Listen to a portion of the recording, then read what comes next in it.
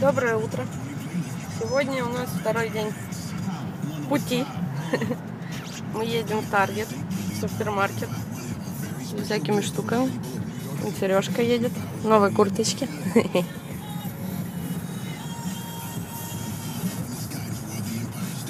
Путь недалекий, легкий, да? Относительно. Всякие развязочки у нас приятные дела. А куда мы денемся? Всем пока.